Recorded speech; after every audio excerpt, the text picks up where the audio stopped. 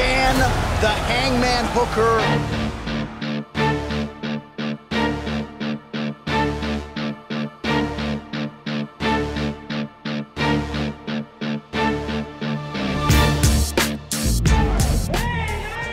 And again, Hioki lands to the body. Oh!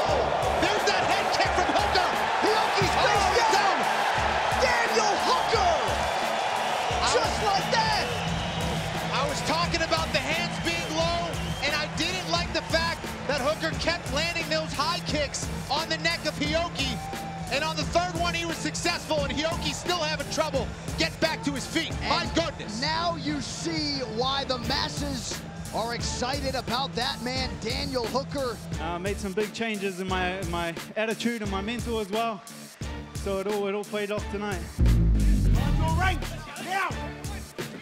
That's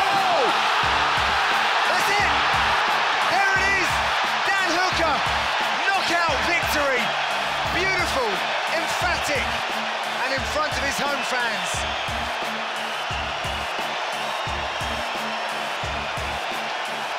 Lots of respect shown all the way through this fight camp from Dan Hooker. Five UFC wins on the other side for the Kiwi. All of them have been finishes inside the octagon. Good straight right there from Dan Hooker. Big knee and Jim Miller Oh. is out. Dan Hooker across the world. Beautiful. And another finish by a powerful right knee. He silences the crowd here in Atlantic City.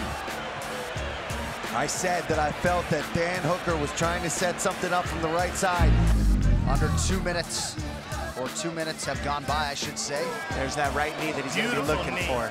He'll be looking for. Oh, oh tagged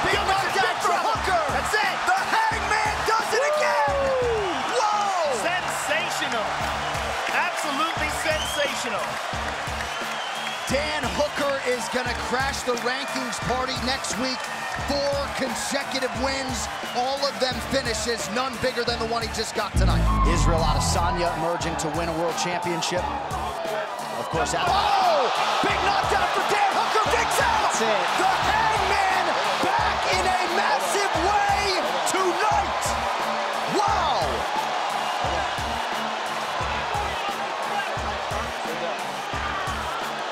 And after nine consecutive decisions to open this card in San Antonio, Dan the Hangman Hooker I trained the hardest I've ever trained in my life for this fight because I know you don't mess with Texas, so I came here prepared.